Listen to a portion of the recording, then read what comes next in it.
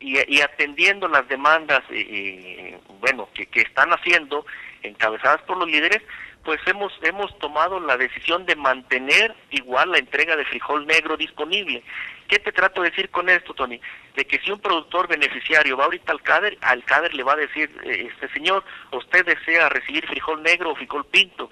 Si el productor decide negro, únicamente le vamos a pedir que nos firme ahí una, una pequeña este, solicitud donde es su deseo recibir semilla de frijol negro y pues la, la va a sembrar bajo los, pues, los riesgos que, que su siembra implique.